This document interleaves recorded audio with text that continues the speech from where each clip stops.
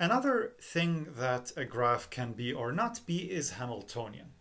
So we call a graph Hamiltonian if it has a so-called Hamilton cycle. This is a cycle that passes through each vertex. Since it is a cycle, it cannot pass through vertices multiple times, so automatically, by definition of a cycle, it will pass through each vertex exactly once.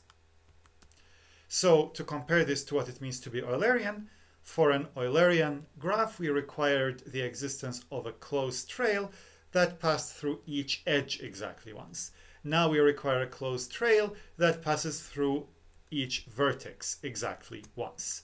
The only thing that we do is we exclude the trivial trail. So a cycle, remember, has to contain at least one edge. So the trivial walk is not a cycle.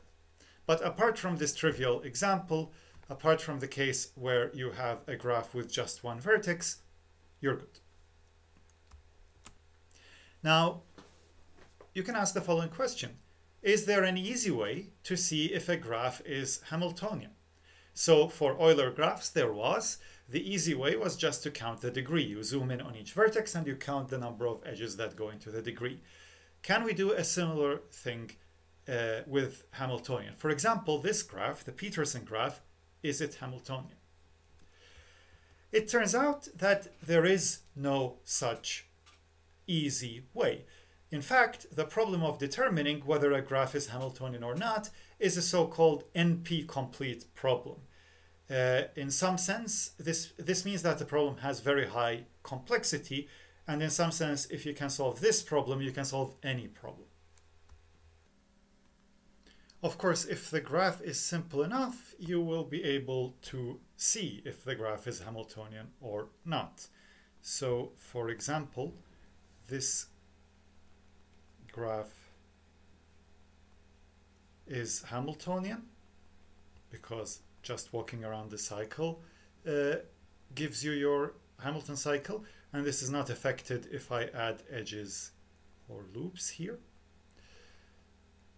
This graph is semi-Hamiltonian or because I have a path going from here to here, but it doesn't close. Whereas, for example, this graph is neither. There is no way to go through all vertices along either a path or a cycle uh, that will contain all vertices. But still, you can give sufficient conditions and necessary conditions for a graph to be Hamiltonian. So one sufficient condition, meaning that if the condition is fulfilled, then the graph is Hamiltonian, but not necessarily the other way around. One such condition was given by Dirac in 1952. So Dirac said that if you take a simple graph with at least three vertices, and if the degree of each vertex is at least half the total number of vertices, then you're good. Then the graph is Hamiltonian.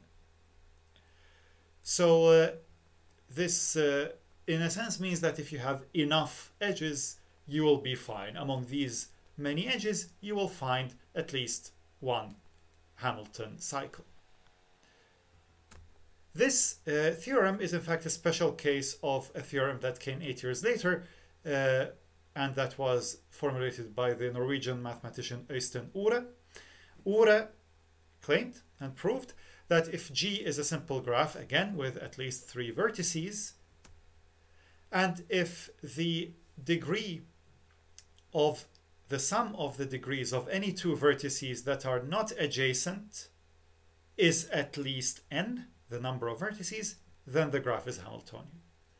So in Dirac's case, if you take any v and w and you sum up the degree for any two vertices, adjacent or not, then this these are each n half at least, so the sum is at least n. So if you can prove Ore's theorem, which is much more general than Dirac's, then uh, Dirac's theorem will follow. So we will prove Ore's theorem and we will prove the equivalent statement, the contrapositive statement, that if G is not Hamiltonian, then you will be able to find two vertices that are not adjacent and such that the sum of the degrees are is too small. Okay, so this is what we will prove. We'll prove that if the graph is not Hamiltonian, then we will find such vertices. And here we remember we need to also prove that V and W are not adjacent, meaning there is no edge between them.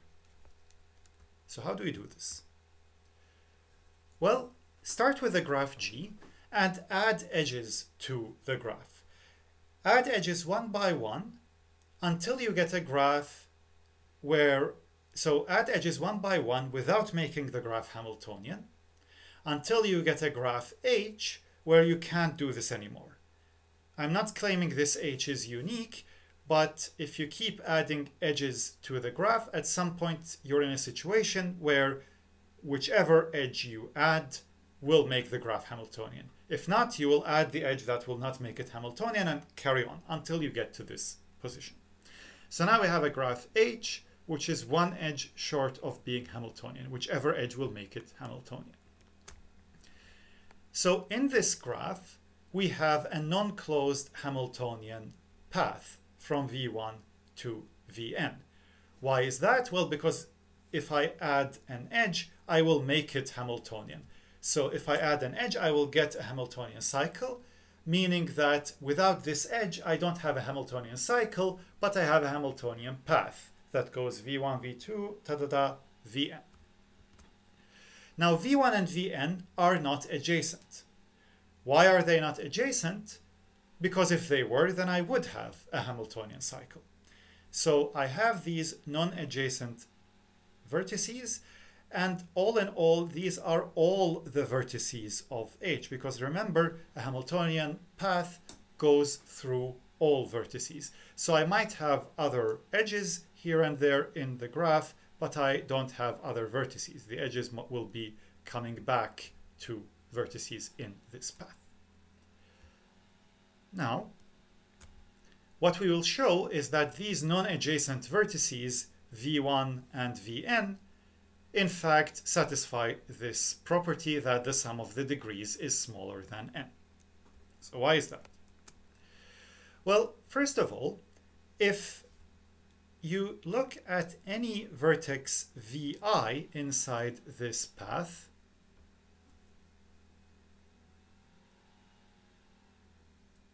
and you compare vi and the vertex to the left of it, it cannot be the case that you both have an edge from the previous vertex to vn as well as an edge from vi to v1.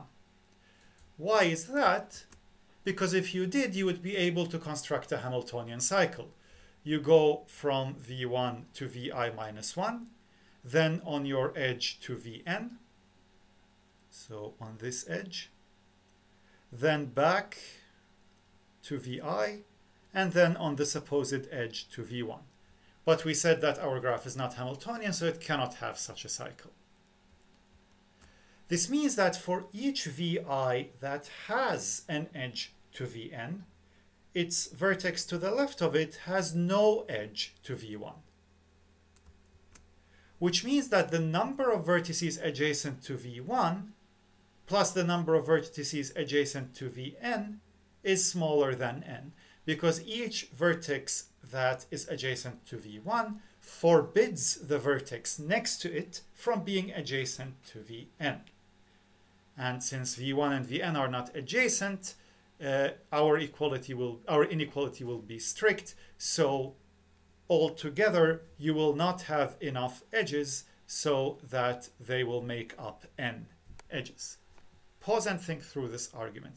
Each edge from any vi to v1 forbids vi minus 1 from having an edge to n. So by this exclusion principle, we cannot have more than n edges going into either n or 1.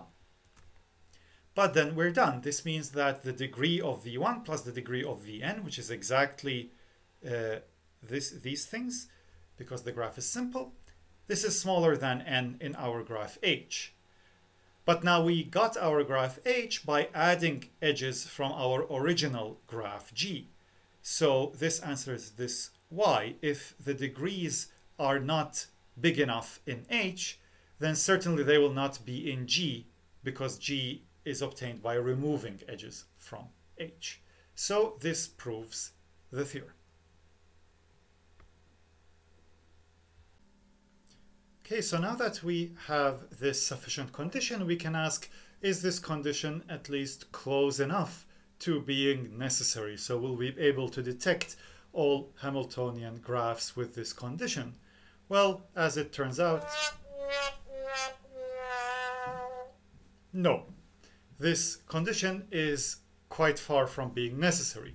The probably most obvious Hamiltonian graph is the cycle graph, because then the cycle itself uh, is a Hamiltonian cycle. In such a graph, any uh, vertex has degree 2, so when you sum up the degrees of two vertices, you get 4, which is going to be smaller than n, if n is at least 5. So cycle graphs do not satisfy Ore's condition, and still they are Hamiltonian. So that is not uh, a necessary condition, but there is a necessary condition that is given in different terms. So you have a graph that is Hamiltonian, then it is two vertex connected. So in order to be Hamiltonian, necessarily the graph has to be two vertex connected. Remember, two vertex connected means that if you just remove one vertex, the graph will still be connected. So let's prove this proposition. How does this work? Well, if you have a Hamiltonian graph and you have a Hamilton cycle, then if you remove any vertex, well, this cycle included all the vertices of your uh, graph. So if you remove one vertex, well, you will break up this uh, cycle into a path. But you still have one path that connects all the remaining vertices. So in particular, the graph you're left with is connected. Therefore, the graph that you started with was in fact two vertex connected. Great, so now we have a necessary condition and then we can ask, is this necessary condition sufficient? Filled with optimism, we ask this question, but it's not sufficient. The Petersen graph definitely is two vertex connected, but one can show that it is not Hamiltonian. So there is no good condition for being Hamiltonian. You have a strong sufficient condition and you have a necessary condition and you have to live with that.